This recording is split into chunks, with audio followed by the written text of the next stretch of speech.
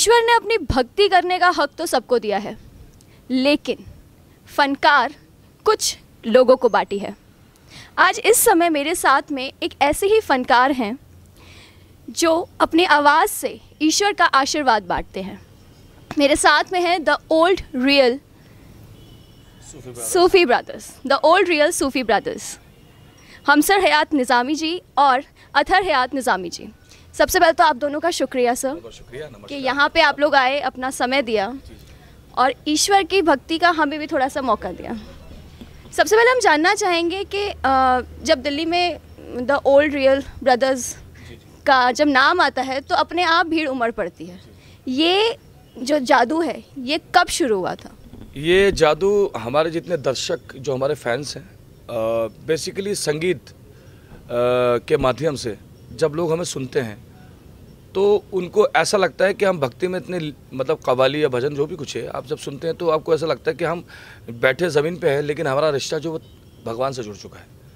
तो संगीत एक ऐसा माध्यम है, जिससे आप, जैसे कि आप कहीं नौकरी करके आते हैं और रात को आप सोचते हैं कहीं क्लब में जाएँ या किसी पार्टी में जाएँ तो वहाँ हमें सुकून मिले। तो संगीत एक ऐसा माध्यम है जिससे आदमी को सुकून भी मिलता है और भगवान से मिलने का एक आसान तरीका भी है।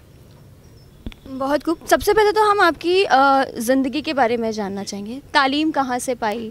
फिर कहाँ आपको लगा कि अब मुझे साईं ने मुझे बुलाया है, साईं ने पुकारा है? ये कब आपको लगा?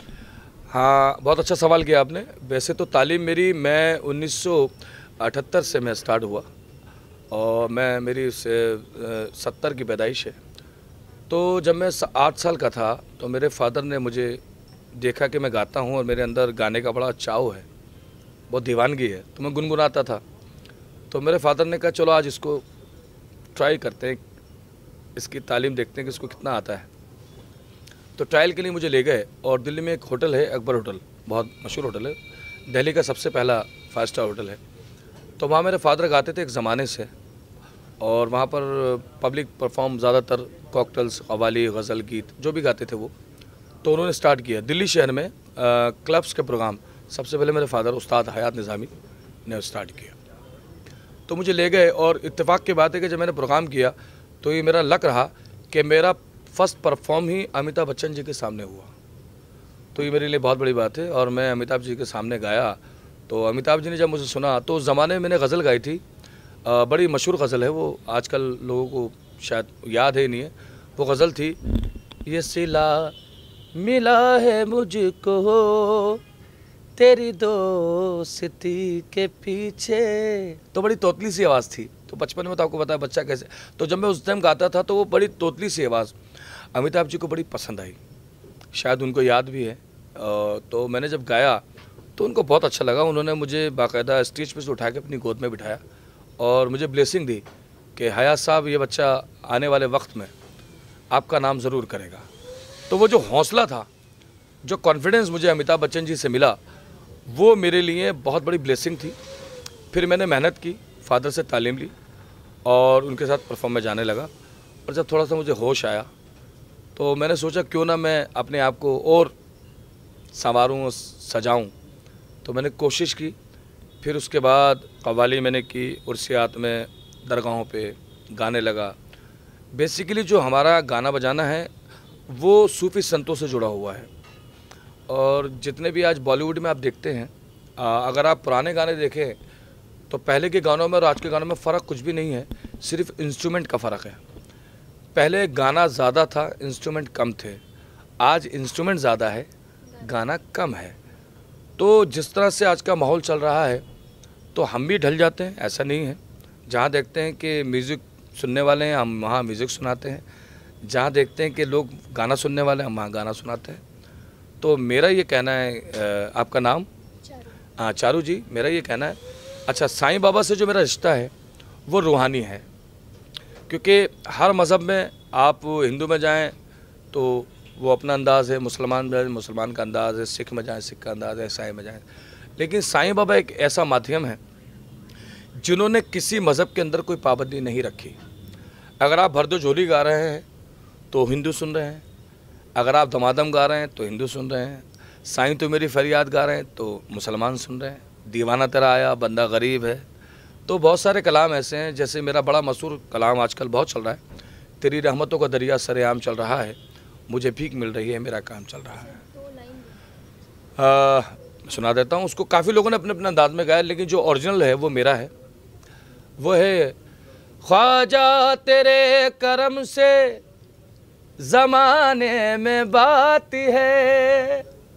ख्वाजा तेरे करम से जमाने में बात है। बंदे को नाज है कि तू बंदा नवाज़ है। तेरी रहमतों का दरिया तेरी रहमतों का दरिया सरेआम चल रहा है तेरी रह मतों का दरिया। सरेआम चल रहा है तेरी रहमतों का दरिया। सरेआम चल रहा है। तेरी रहमतों का दरिया सरेआम चल रहा है। मुझे भीख मिल रही है तो मेरा काम चल रहा है। मुझे भीख मिल रही है तो मेरा काम चल रहा है। इस गाने की सबसे बड़ी खासियत यह है कि इसे आप कहीं भी गा सकते हैं। आप अपने गुरु के लिए गा सकते हैं, अपने ईश्वर के लिए गा सकते हैं, अपने पीर के लिए गा सकते हैं, अपने अपने मतलब आप किसी रिलीजन में इसको गाएँ तो आप नाम नाम बदल सकते हैं, लेकिन कलाम नहीं बदल सकते। ना आप संगीत बदल सकते हैं। सात सुरों में ही पूरी दुनिया समाई हुई है, सात रंगों में ही पूरा आलम समाया हुआ है। तो और मेरा जो गाना है बाबा का, बड़ा मशहूर गाना है, जो 22 साल पुराना है। और वो गाना लोगों ने बहुत गाया, और उन्होंने काफ़ी कोशिश की कि वो मेरे जैसा गा सकें। मुझसे अच्छा गाया उन्होंने, लेकिन मेरे जैसा नहीं गा सके। क्योंकि कोशिश में और दुआओं में फ़र्क होता है। वो गाना बड़ा मशहूर था मेरा, और आज भी लोग गाते हैं। है, जब तरह का सामान तेरी शिरडी में। आता हिंदू है मुसलमान, तेरी शिरडी में। आए जितने भी परेशान तेरी शिरडी में, काम सबके हुए आसान तेरी शिरडी में। दीवाना तेरा आया बाबा तेरी शिरडी में। दीवाना तेरा आया बाबा तेरी शिरडी में। दीवाना तेरा आया बाबा तेरी शिरडी में। दीवाना तेरा आया बाबा तेरी शिरडी में। नजराना दिल कलाया बाबा तेरी शिरडी में। नजराना दिल कलाया बाबा तेरी शिरडी में। बड़ा मशहूर गाना है और ये बेसिकली कवाली है। तो आप इसको कहीं भी ले जा सकते हैं। और मैं अपने बारे में ज़्यादा कुछ तो कहूँगा नहीं। मीडिया ने मुझे इतना मौका दिया। मैं मीडिया से बहुत दूर रहा। सबसे बड़ी बात यह कि काफ़ी मीडियाज़ मुझे चाहते थे, लेकिन मैं अपने काम में इतना बिज़ी रहा, मुझे साईं बाबा से इश्क है और भगवान ईश्वर से इश्क करो, उसको इस्तेमाल ना करो, क्योंकि इश्क जो है, वो यहाँ भी काम आता है, वहाँ भी काम आता है। और मैंने बहुत परफॉर्म किए 86 में अमेरिका गया मैं आर्ट्स फेस्टिवल ऑफ़ की तरफ़ तरफ़ से मेरे फादर आई की तरफ़ से। और वहाँ पर हमने सिक्सटी फाइव कंट्रीज़ में शोज़ किए। और बहुत अल्लाह का करम है और आपकी दुआ से माइकल जैक्सन के सामने हमने परफॉर्म किया। और हिंदुस्तान के हम बड़े खुशनसीब आर्टिस्ट हैं, जिन्होंने वाइट हाउस में परफॉर्म किया है। ये शायद किसी को पता नहीं, क्योंकि उस ज़माने में मीडिया नहीं था, ना यूट्यूब था, ना ये था। तो उस ज़माने में अलाउड भी नहीं था कि आप वीडियो बना के, बना सके। तो हमने काफ़ी अच्छे अच्छे परफॉर्म किए। बड़ा शुक्र है ऊपर वाले का, साईं बाबा का अल्लाह का बड़ा एहसान है परवरदिगान का, श्री राम का, श्री कृष्ण का, माता रानी का, बहुत बड़ा करम है गुरु नानक का, कि हम जहाँ भी गए हमने हर मज़हब मिलत को, उनकी अकीदत से उनको कलाम सुनाए और कोशिश करी कि हम उसको अच्छे से अच्छा पेश कर सकें। नगोदर भी गया मैं और शिरडी भी गया। मैं वैष्णो देवी भी होकर आ चुका हूँ। गोल्डन टेंपल भी गया हूँ। अजमेर शरीफ तो मेरा घर आँगन है। और हज़रत निज़ामुद्दीन रहमतुल्लाह अलैह, जो कव्वाली के एक ऐसे स्टम्प हैं, हज़रत अमीर खुसरो, जिन्होंने कव्वाली को बहुत आसान किया और हज़रत ख्वाजा गरीब नवाज़ ने कव्वाली को ईजाद किया। हिंदुस्तान में।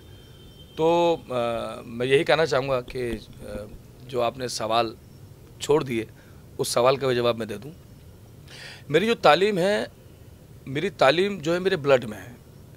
हमारे ख़ानदान में गाना बजाना 700 साल से है और जो हमारा घराना है वो 600 साल पुराना घराना है और 700 साल से हज़रत अमीर खुसरो हज़रत महबूब के हमारे बुज़ुर्ग गाना बजाना करते हैं और हमारे दादा परदादा। और हम लोग सिकंदराबाद घराने, दिल्ली घराने से ताल्लुक़ रखते हैं। मेरे जो नाना थे, उस्ताद तांदरस खान साहब, वो मेरे नाना थे और उस्ताद मुजफ़र खान साहब मुनवर खान साहब, वो मेरे दादा थे। तो सिकंदराबाद घराना बहुत बड़ा घराना है, जहाँ से बहुत सारे घराने निकले हैं। हिस्ट्री में अगर आप जाएँ तो कभी आप तलाश कीजिएगा। और क्योंकि मीडिया तो जहाँ भी जाए, वहाँ पहुँच जाता है।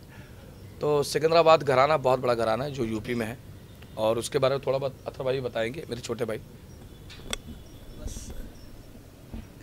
घराना तो सब घराने का मतलब ये है कि घराना तो घराना ही होता है जो घराना है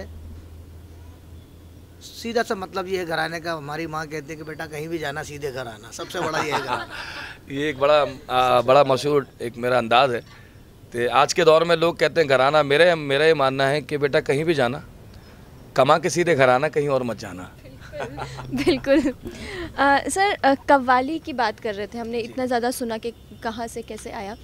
जब कव्वाली कमर्शियलाइज्ड होने लगी जो अभी हम कुछ पिछले सालों में देख रहे हैं कहीं ऐसा नहीं लगता कि भक्ति या म्यूज़िक कहीं छूट गया है? बिल्कुल सही आपने बहुत अच्छा सवाल किया।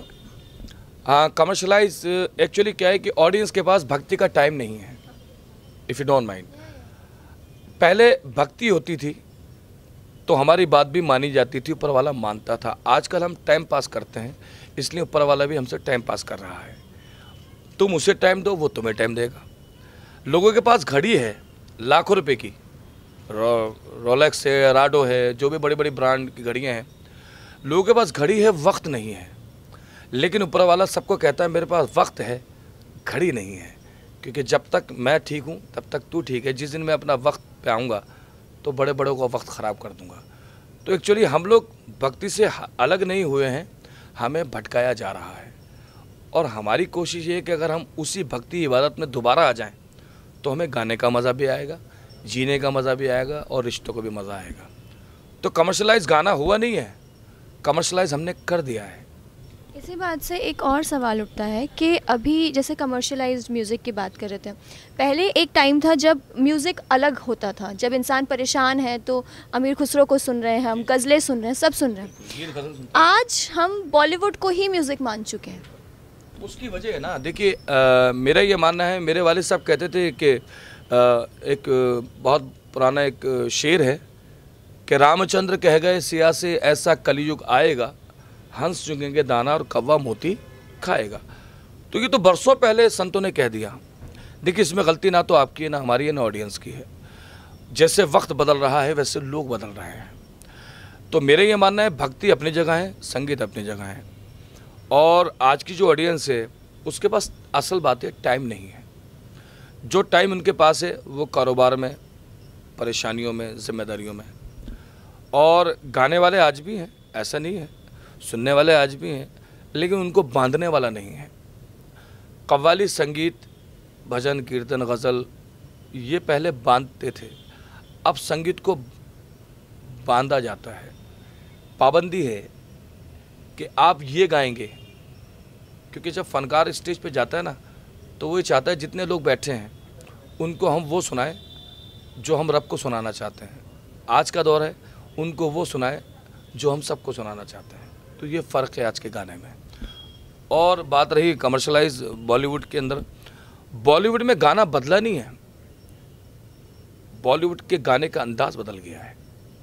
अब जैसे कि हम गा रहे हैं, छाप तिलक सब छीनी रे से नैना मिला के। अब ये हम ओरिजिनल गा रहे हैं। अब इसमें हम इंस्ट्रूमेंटली जो वेस्टर्नाइज इंस्ट्रूमेंट है, अब उसमें हम गिटार और जो भी चीज़ें इंस्ट्रूमेंटली उसको हम ज्वाइन कर देते हैं तो उसमें बोल कम हो गए हैं। इंस्ट्रूमेंट ज़्यादा हो गया है। अब छाप तिलक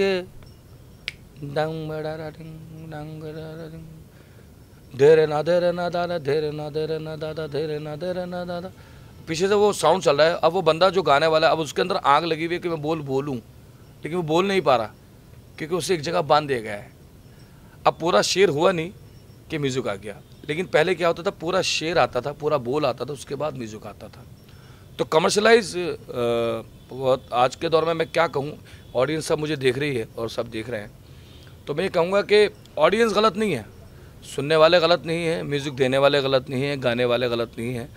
थोड़ा सा वक्त के साथ जैसे महीने में मौसम बदलता है, इस तरह लोगों के सुनने के तरीके बदल गए हैं और गाने बजाने में कोई कमी नहीं सारे फनकार बहुत अच्छा गा रहे हैं। और अब तो हिंदुस्तान को तो शुक्र अदा करना चाहिए कि आज ऐसे ऐसे टैलेंट इंडिया में आ रहे हैं, जो सीखे हुए भी हैं और सिखा भी रहे हैं। और जैसे आजकल आपको पता है जो बॉलीवुड में गाने आ रहे हैं, उनमें सबसे बड़ी जीत क्या है कि आप जब रिकॉर्डिंग करने जाते हैं तो आप रिकॉर्डिंग करते टाइम आपको एक बेनिफिट ये मिलता है कि अगर आप गलत भी गाते तो आपको रीटेक मिल जाता है। पहले रीटेक नहीं होता था। पहले जो हो गया हो गया क्योंकि वो सीख कर आते थे। आज के दौर में लोग सीख कर तो आते हैं लेकिन उस पर मेहनत नहीं करते। डिजिटल प्लेटफॉर्म हो गया है हर दूसरा बच्चा अपना वीडियो डालता है। और मैं तो ज़्यादा कुछ कह नहीं सकता क्योंकि सब फनकार बहुत अच्छे हैं मैं तो खैर नाचीज़ हूँ मैं तो अभी सीख रहा हूँ। और अभी भी मेरे गाने में बहुत कमी है जो सिर्फ़ ऊपर वाला ईश्वर भगवान जो भी है वो निरंकार। हम उसे किसी ओम की ओम की शक्ल में देखें या अल्लाह की शक्ल में देखें। तो मेरा ये मानना है कि आँख की पुतली ज़रूर काली है, लेकिन उसके रंग हज़ार हैं। वो रंग देखने के लिए मन चाहिए तो मेरा ये मानना है। और सूफी बरदर शमसरायात अतर निज़ामी, जितने भी निज़ामी ब्रादर्स हैं, निज़ामी बंधु हैं, या जो भी ब्रादर्स हैं ऑल ब्रादर्स ऑल सिस्टर्स संगीत मेरी नज़र में एक बहुत अलग डेफिनेशन है संगीत की। संगीत का मतलब है या तो किसी का हो जाना या किसी को अपना बनाना। और मेरा ये मकसद है कि अगर हम किसी को अपना नहीं बना सकते तो हम किसी की हो जाएँ। और जब हम किसी की हो जाए ना तो कोशिश करें कि वो हमारा हो जाए। कोशिश करते रहें ये गाना बजाना है। और हिंदुस्तान में संगीतकार और म्यूज़िक डायरेक्टर फ़नकारों की कमी नहीं है। सबसे बड़ी बदनसीबी हमारे हिंदुस्तान की ये है कि हमारे मुल्क के लोग ही हमारी कदर नहीं करते। इसलिए बाहर का म्यूज़िक हम पे हावी हो रहा है और हम लोग उनके साथ कंप्रोमाइज़ करके चल रहे हैं। सबसे बड़ी बदनसीबी ये है। हिंदुस्तान में हम ये नहीं कहते कि हम नुसरत खान साहब बन सकते हैं। हम ये नहीं कहते हम राहत साहब बन सकते हैं। हम ये कहते हैं कि आप उनको लाइए तो सही, जो बनना चाहते हैं। जब आप वहीं को लाए जाएँगे तो यहाँ वाला करेगा क्या? भाई मेरे रश के कमर वो भी गा रहे हैं, आप भी गा रहे हो। है हिंदुस्तान की ही दिन। आज वो भी गा रहे हैं तो हिंदुस्तान का छाप तिलक, दमादम मस्कल अंदर, जो भी आप गा रहे हैं। भाई, पार्टीशन में इंडिया पाकिस्तान बन गया, वो अपनी जगह है। दीवारें खड़ी हुई हैं। संगीत संगीत नहीं है। संगीत वही है। जो वहाँ गा रहे हैं, वो भी हिंदुस्तान का ही है। जो यहाँ गा रहे हैं, वो भी हिंदुस्तान का। हिंदुस्तान एक ऐसा प्लेटफार्म है, हम लोग खुद अपने आर्टिस्टों की कदर नहीं करते। उसकी वजह ये है कि हमें दिखता है कि पाकिस्तान का अगर आर्टिस्ट है तो इज़ अ आर्टिस्ट मतलब ब्रांड है। और हिंदुस्तान का आर्टिस्ट है कोई बात नहीं। हिंदुस्तान का है नो प्रॉब्लम घर की मुर्गे दाल बराबर। सब आपने बॉलीवुड में भी गाना गाए थे तो वो सफ़र कैसा रहा? सफ़र बहुत अच्छा रहा और बॉलीवुड में मुझे सबसे बड़ी मूवी अगर मिली मुझे छोटी मोटी मूवी मिली हैं और काफ़ी कोशिश की है कि मुझे मिलें। अभी अल्लाह मालिक है भगवान जाने क्या है क्या नहीं उसके राजो नियाज तो मुझे मिली फ़िल्म फायर में मैं गाया ए रहमान साहब का उसमें सारा बैकग्राउंड म्यूज़िक था। और हमने लाइव गाया था उसमें दरगाह एक चिराग दिल्ली, यहाँ पर दिल्ली में। तो वहाँ मैंने परफॉर्म किया और हमने लाइव परफॉर्म किया था। उसके बाद मैंने फ़िल्म तथास्तु का मुझे स्पेशली ऑफ़र आया। विशाल शेखर साहब ने मुझे बुलाया और अभी मन अभी उन्होंने मुझे, अनुभव सेना ने मुझे बाकायदा ढूंढा। तीन महीने तक निज़ामुद्दीन दरगाह पे आया। काफ़ी मुझे ऑफ़र आए, कुछ ऑफ़र छिन गए, कुछ ऑफ़र आ नहीं पाए। तो खैर, कोई बात नहीं। लेकिन मैं फिर भी शुक्र अदा करता हूँ। उसके बाद मैंने बस एक तमन्ना फ़िल्म आई थी, उसमें मैंने कवाली गाई थी। उसमें भी पिक्चराइज मुझ पर नहीं हुआ, तथास्तु में भी नहीं हुआ।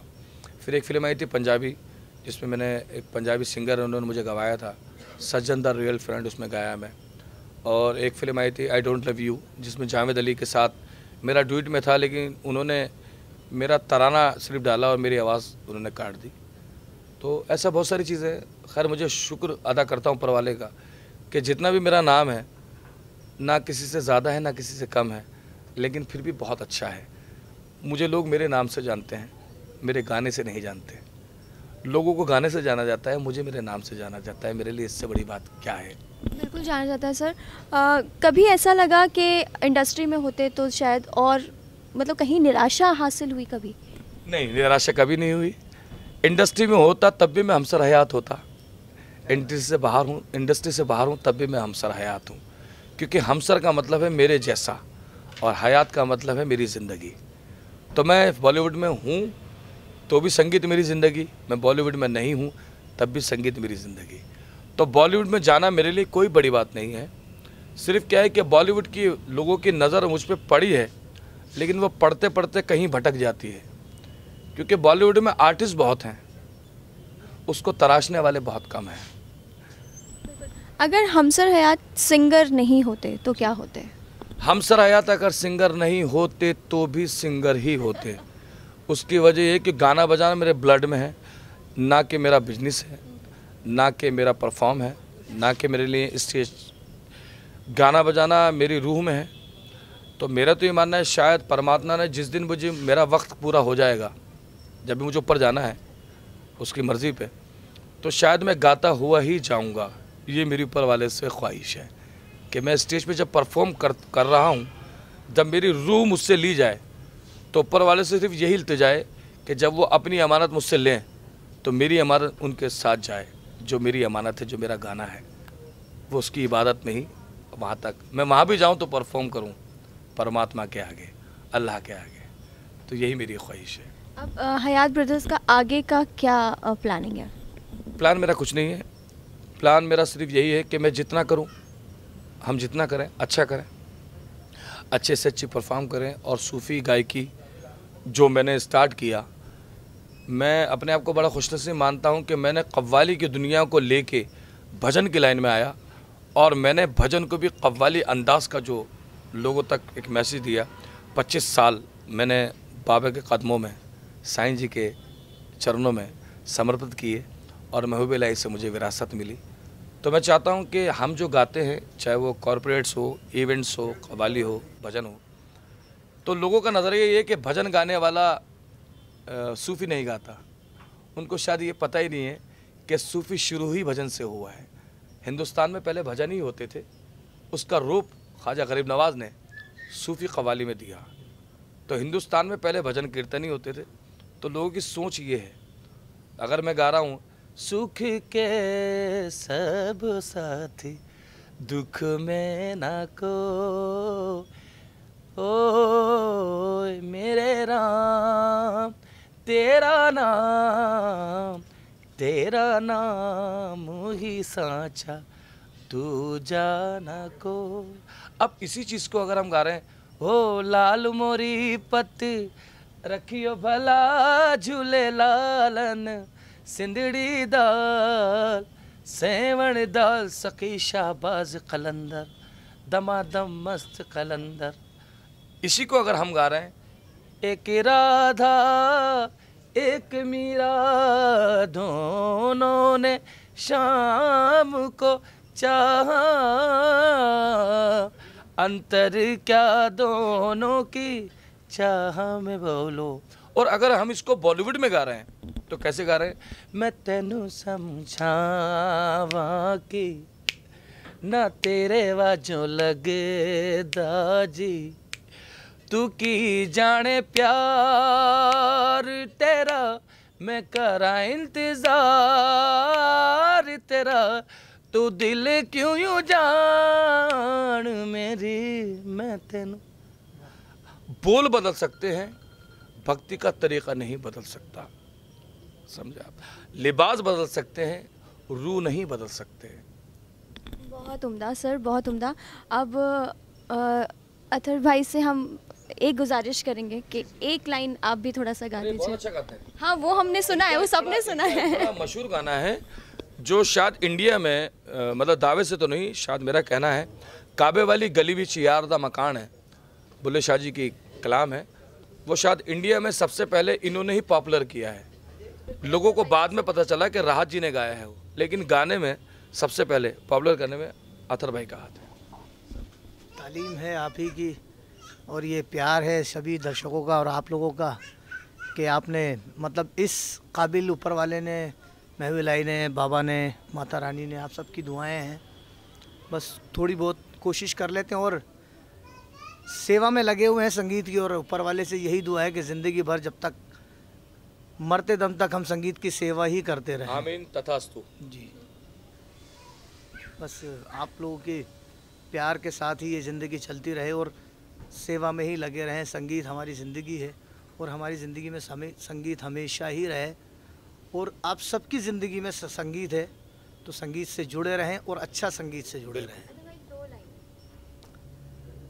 किथे करा सजदा किथे करा सजदा मैं दिल परेशान है काबे वाली गली विच यार दा मकान है काबे वाली गली विच यार दा मकान है दोवे पासे आना जाना मेरी मजबूरी है दोवे पासे आना जाना मेरी मजबूरी है। यार भी ज़रूरी है ते रब भी ज़रूरी है। यार भी ज़रूरी है ते रब भी ज़रूरी है। पहले किथे जावा पहले किथे जावा मेरी अकल हैरान है।